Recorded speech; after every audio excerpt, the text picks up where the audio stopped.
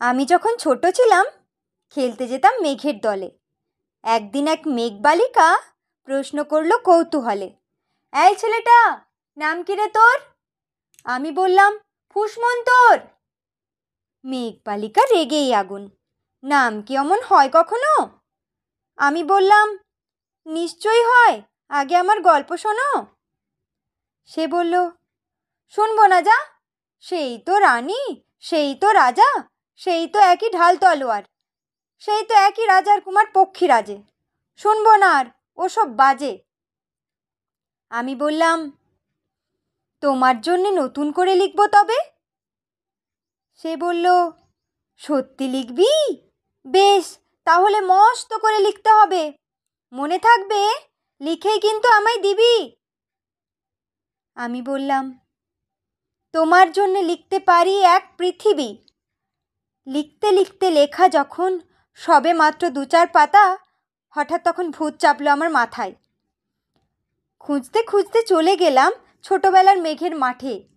গিয়েই দেখি চেনা মুখ তো একটিও নেই এ তল্লাটে একজনকে মনে হলো ওরই মধ্যে অন্য রকম এগিয়ে গিয়ে বলি তাকেই তুমি কি সেই?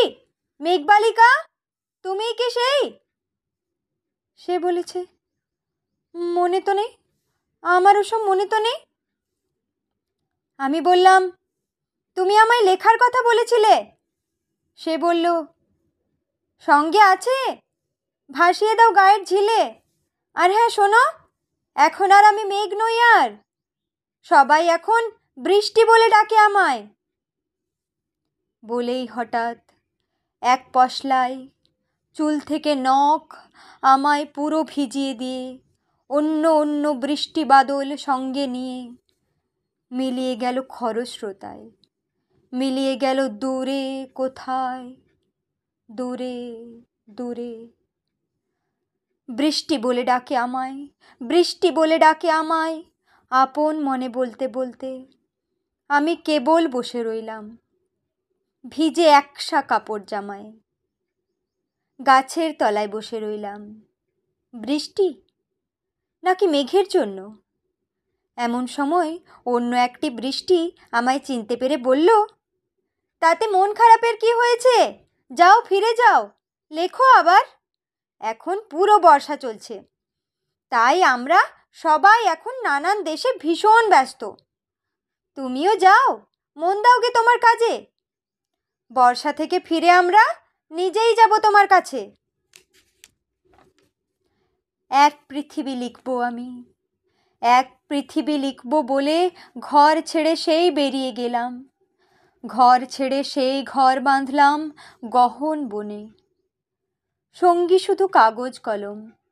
একাই থাকব, একাই দুটো ফুটিয়ে খাব।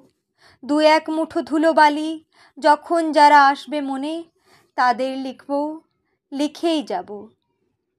এক পৃথিবীর একশো রকম স্বপ্ন দেখার সাধ্য থাকবে যে রূপ কথার সে রূপ কথা আমার একার।